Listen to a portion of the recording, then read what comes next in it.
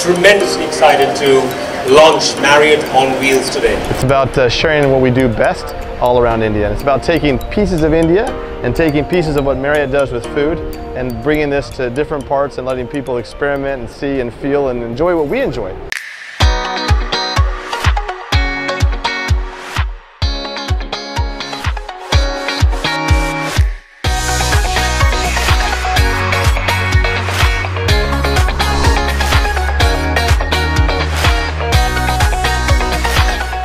Food truck and, and Marriott on Wheels. I'd like to wish them all the best.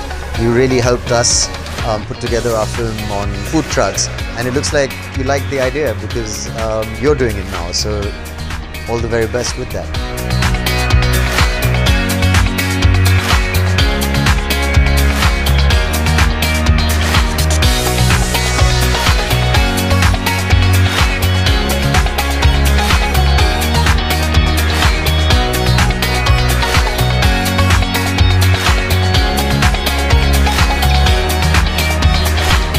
The most part that I liked about this concept is that they're focusing more on tier 2 cities and it's great to have a taste of Marriott amalgamated with you know this local street food and I think that's a brilliant concept for people who love their food and who want to experiment with food.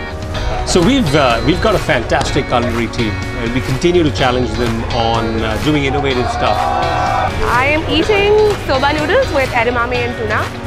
It's pretty nice. I love salad, so it's really interesting and it's a new um, sort of addition to a food truck.